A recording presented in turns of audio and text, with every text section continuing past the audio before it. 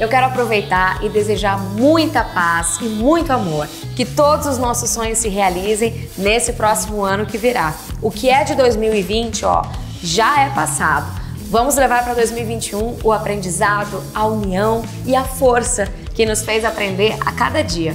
Vamos entrar 2021 com a esperança de um novo tempo cheio de saúde. Porque mais do que viver simplesmente, nós queremos que em 2021 você siga vivendo plenamente. Obrigada a você que nos acompanha por fazer parte dessa história.